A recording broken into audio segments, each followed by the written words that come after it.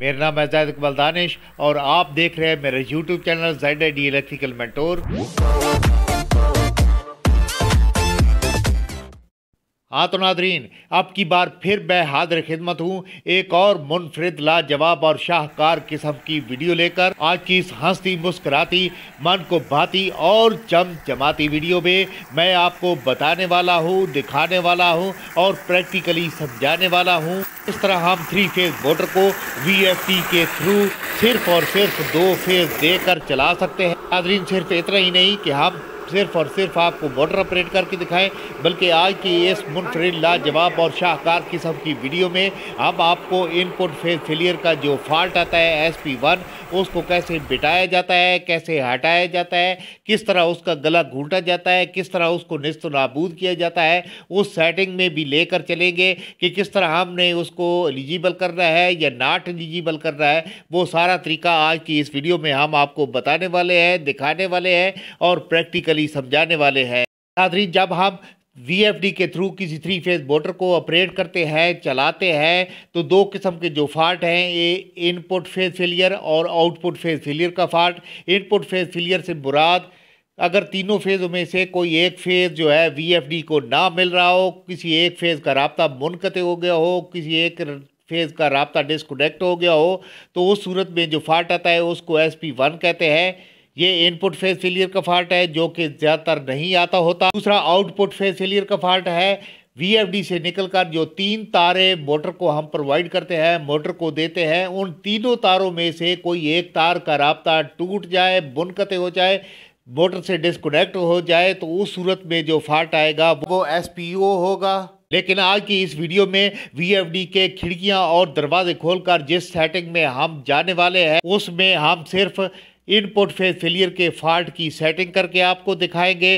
तो टाइम ज़ाय किए बगैर नादरीन चलते हैं आज की इस हंसती मुस्कुराती बाती और चमचमाती वीडियो की जाने सबसे पहले आपने प्रोग्राम में दाखिल होना है। प्रोग्राम का बटन प्रेस करेंगे। यहाँ पे पी ज़ीरो आ गया है। आप पैरों की कीमत से यहाँ पे पी बी कर दें।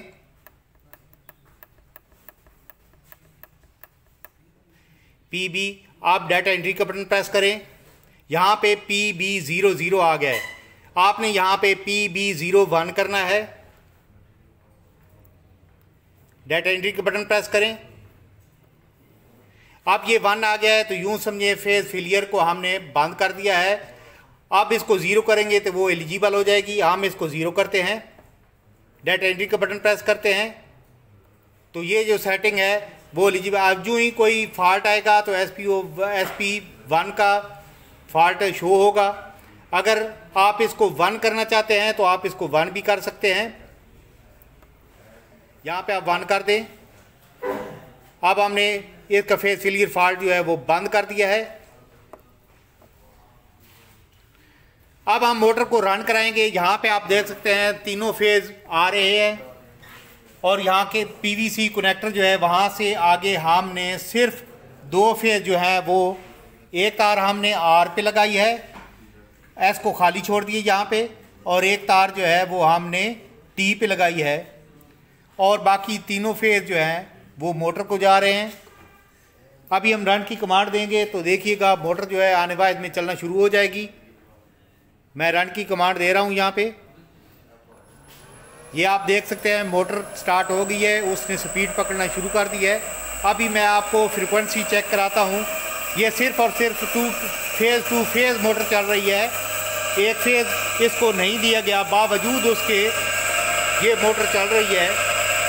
फ्रिक्वेंसी पूरी होगी अब इसको मैं स्टॉप कराता हूँ।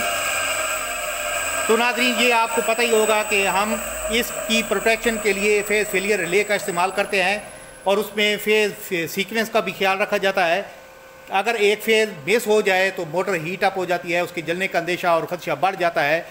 तो ये जो VFD है एक मुकम्मल प्रोटेक्शन डिवाइस है।